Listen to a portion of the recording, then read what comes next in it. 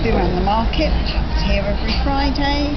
And uh, it's a beautiful sunny day, although we're sat in the shade, so you can't see that. And the sky's got some light clouds in it, but I understand back in the UK it's been raining rather a lot lately. We haven't seen any since we left uh, Stansted, which has been wonderful. Um, there's nothing much else to say really.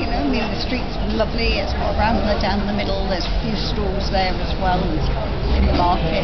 There's fountains and palm trees, and everybody's smiling because it's sunny.